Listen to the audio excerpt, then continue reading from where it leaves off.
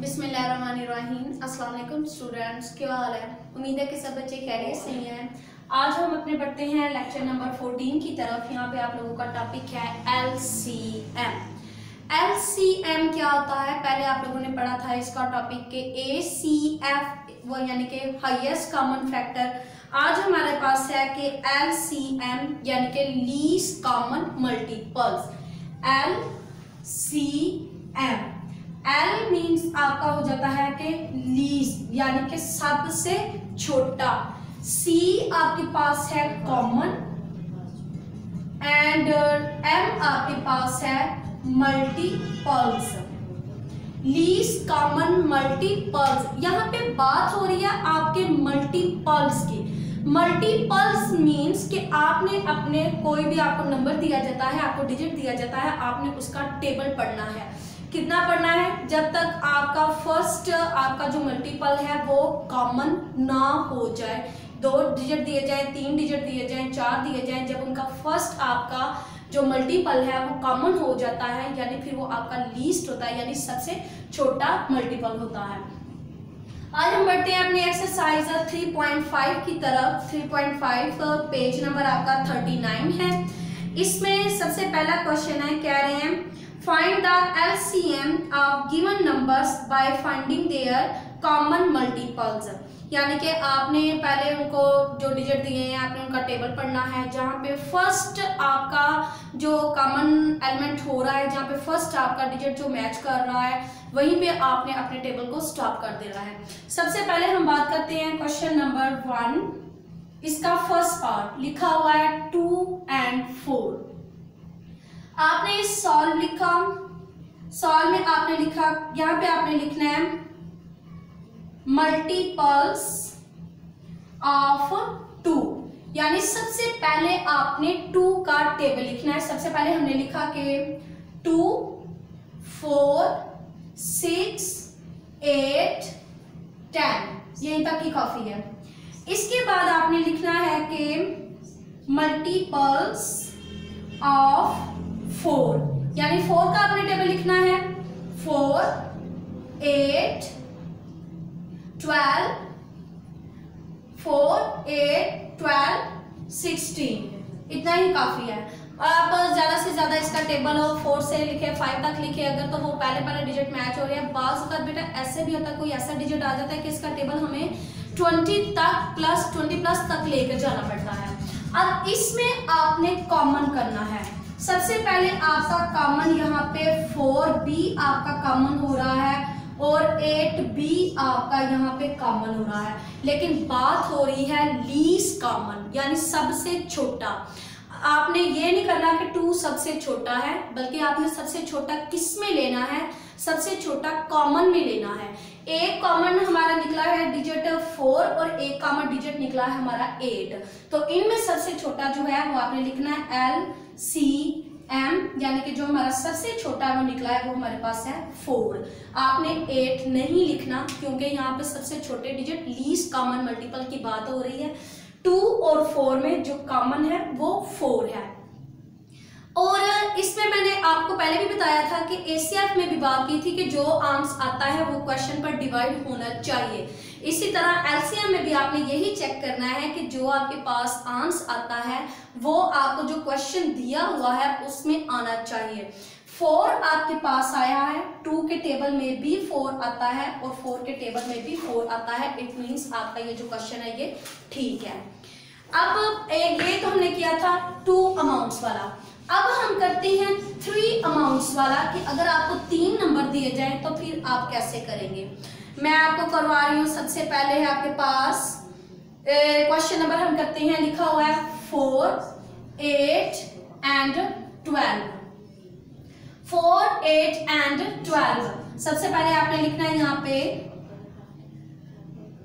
Multiples of four. यानी four का लिखें। Four, eight, twelve, sixteen, twenty twenty four. Sorry, पहले twenty four, twenty twenty four and twenty eight यहाँ तक काफ़ी है। इसके बाद हम लिखते हैं कि मल्टीपल्स ऑफ़ एट यानी आठ का टेबल लिखना है। Eight sixteen twenty four thirty two forty ये तक काफ़ी है। इसके बाद हमने लिखने हैं मल्टीपल्स ऑफ़ ट्वेल्व ये देखिए ट्वेल्व ट्वेंटी फोर थर्टी यहाँ तक काफ़ी है। अब देखें इसमें कह रहे हैं कि आपने तीनों में कॉमन लेना है। अगर बात देखें एट और एट लेकिन ट्वेल्व के टेबल में एट नहीं है। अगर बात करते हैं हम ट्वेल्व की ट्वेल्व ट्वेल्व इसमें ट्वेल्व नहीं है सिक्सटीन सिक्सटीन ट्वेल्व में सिक्सटीन नहीं है। इट मीन्स जो हमारे पास कॉमन आ रहा है, वो हमारे पास है ट्वेंटी फोर ये देखिए तीनों में जो आपके पास कॉमन आया है, वो है ट्वेंटी फोर यानी फोर के टेबल में भी ट्वेंटी फोर एट के टेबल में भी ट्वेंटी फोर और ट्वेल्व के टेबल में भी ट्वेंटी फोर इससे आगे भी मिलते होंगे, लेकिन हमारा जो फ़र्स्ट डिजिट है, वो हमारा यहाँ पे 24 मिल रहा है। तो आपने यहाँ पे लिख लेना है कि L C M equal twenty ये आपके पास आ जाता है। यानी कि फ़र्स्ट एलिमेंट हमारे पास क्या मिल रहा है? तीनों में कॉमन क्या हो रहा है? 24 आपने 3.5 का क्वेश्चन नंबर वन बिल्कुल इसी तरीके से सॉल्व कर लेना है। नेक्स्ट हम बढ़ते हैं क्वेश्चन नंबर टू की तरफ़। वहाँ पे उन्होंने कहा हुआ है कि आपने प्राइम फैक्टराइजेशन करनी है। प्राइम फैक्टराइजेशन में आपने क्या करना है? प्राइम नंबर्स लेने हैं। क्वेश्चन नंबर हमने टू की बात करनी है। प्राइम नंबर्स पहले भी बताया है, ऐसे नंबर जिसके सिर्फ़ दो फैक्टर होते हैं, एक वन और एक नंबर इटसेल्फ वही यानी ऐसे नंबर जो खुद पे ही डिवाइड हो। Two three five seven eleven thirteen and so on आपने ये वाले नंबर्स लेने हैं। सबसे पहला क्वेश्चन है आपके पास टू का फ़र्स्ट पार्ट लिखा हुआ है एटीन एंड ट्वेंटी फोर आपने इसकी प्राइम फैक्टराइजेशन करनी है। एलसीएम और एसीएफ के प्राइम फैक्टराइजेशन की बात सुने। एसीएफ में प्राइम फैक्टराइजेशन लेते हैं हमने सिर्फ़ और सिर्फ़ अगर तीन डिजिट दिए हैं, तीनों में कॉमन हो और दो डिजिट दिए हुए हैं, दोनों में कॉमन हो। बट एलसीएम का फैक्टराइजेशन कैसे होता है? एलसीएम का फैक्टराइजेशन ऐसे होता है, अगर दो डिजिट दिए हुए हैं, इसमें दो भी लिखने हैं, तीन में कॉमन हो रहा है, तीन में लिखने हैं। इसमें आपने कॉमन एंड नॉन कॉमन यानी जो मिलते हैं और जो नहीं मिल रहे, वो सारे आपने लिखने हैं और सारे के सारे लिखने के बाद आपने उनको मल्टीप्लाई कर देना है, वो जो नंबर आ रहा है, वो इन दोनों के टेबल में आना चाहिए। कैसे करते हैं? सबसे पहले हम लिखते हैं एटीन एटीन की प्राइम फैक्टराइजेशन सबसे पहले टू से। टू नाइन थ्री थ्री इसके बाद फिर हमने ट्वेंटी फोर की की। ट्वेंटी फोर टू वन जार टू टू टू जार फोर टू सिक्स जार twelve two three jar six और सॉरी यहाँ पे थ्री वन जार थ्री यहाँ पे आपने सबसे पहले लिखे कि 18 के फैक्टर 18 के फैक्टर हैं two multiply three multiply three, और इसके बाद आपने 24 के फैक्टर लिखे 24 की हैं two multiply two multiply two, multiply three. अब आप इसमें से कॉमन देखें सबसे पहले इसमें एक टू कॉमन हो रहा है, और उसके बाद आपका यहाँ पे थ्री कॉमन हो रहा है।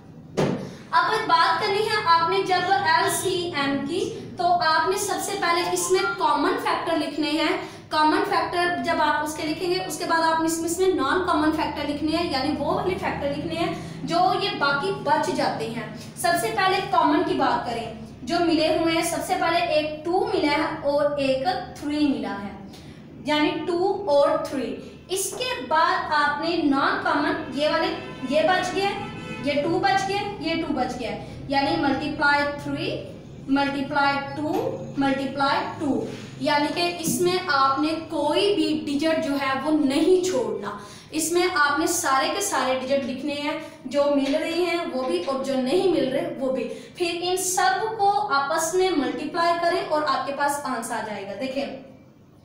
To three jar six two three jar six six three jar eighteen eighteen two jar कितना आता है? Thirty six. Eighteen two jar thirty six thirty six two jar thirty six two जार two six jar twelve, one carry, two three jar six and one seven, यानी कि seventy two आपके पास LCM आया है। अब ये जो सेवेंटी टू आपके पास आया है, ये एटीन के टेबल में भी आता है और ये ट्वेंटी फोर के टेबल में भी आता है। इसके, आपने इसी तरह के ये सारे क्वेश्चंस आपने करने हैं। क्वेश्चन नंबर जो टू है प्राइम फैक्टराइजेशन है। ये आपने प्राइम फैक्टराइजेशन की है। ये एलसीएम और एसीएफ में प्राइम फैक्टराइजेशन में डिफरेंस रखा करें। एसीएफ में सिर्फ़ कॉमन लेते हैं और एलसीएम में कॉमन नॉन कॉमन दोनों लेते हैं आप। और उसके बाद आपने उन सबको आपस में मल्टीप्लाई करके आपने अपना आंसर बना लेना है। और आज का सिर्फ़ यही है आपकी एक्सरसाइज 3.5 का क्वेश्चन नंबर वन और क्वेश्चन नंबर टू आपने सिर्फ़ ये थोड़ी सी एक्सरसाइज के क्वेश्चन है, ये आप लोगों ने अपनी नोट कॉपी के ऊपर अच्छे तरीके से सॉल्व कर लेनी है।